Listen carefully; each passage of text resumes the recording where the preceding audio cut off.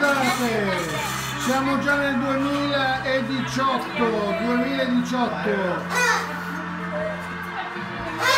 Beautiful, Happy New Year, guys! A tutta Happy la mia famiglia! A tutta la famiglia! Happy New Year!